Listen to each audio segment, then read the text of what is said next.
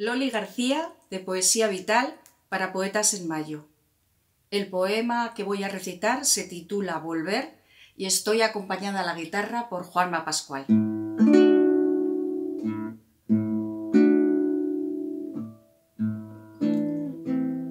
Volver, siempre ansiosa de revivir los mejores momentos, de hollar los mismos paisajes. Volver sintiendo la incertidumbre, la emoción, la duda. Volver y redimirte haciendo lo que faltó o borrando los excesos. Volver aunque no vuelvas siendo tú, ya que no eres la de ayer.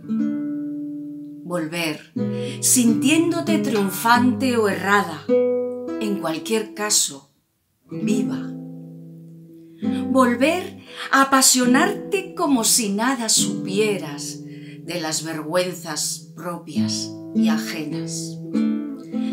Volver con la mirada limpia de niña miope y despistada, que todo la sorprende y con todo se engancha. Volver para no quedarte sola, para rozar una esperanza. Volver y olvidarte del futuro que cae en cascada hacia la nada. Kaisho, buenos días. Esta poesía se titula Ensoñación. dice así, a la caída de la tarde he asido fantasías, soñado con una boca donadora de impetuosos ósculos, mascados sin recelo, sin mácula con deseo.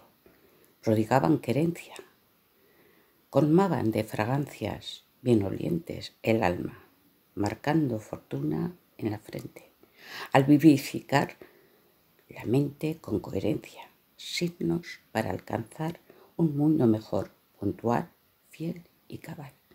Todo es factible a la caída de la tarde. Para poetas en mayo de poesía vital, Carmele San Germán.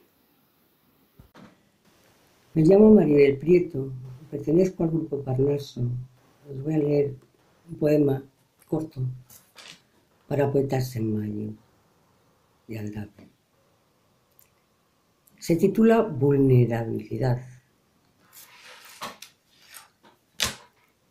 ¿Se suceden las estaciones o somos nosotros quienes rotamos por ellas? Se anuncia la primavera vistiendo a la naturaleza con brotes nuevos.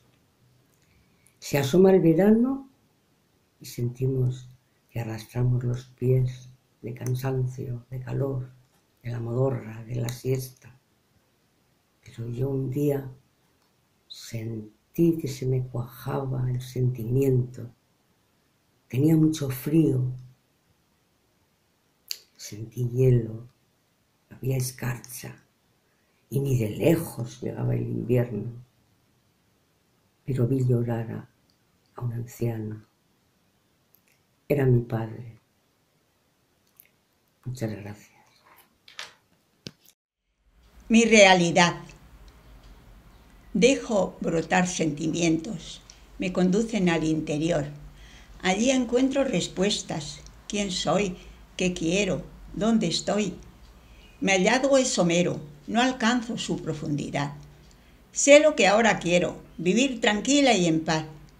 Pero eso requiere esfuerzo, mucho tiempo y voluntad. Fortalecer lo importante que es justicia, humanidad y amar. Con esos fuertes pilares mi meta se logrará. Los tropiezos de la vida nunca me harán claudicar saltaré montes y valles, me sentiré me sentaré a reposar. Con el regalo de la vida siempre podré disfrutar. Gracias, gracias cada día por darme la libertad. Soy Tere Herrán. Adiós.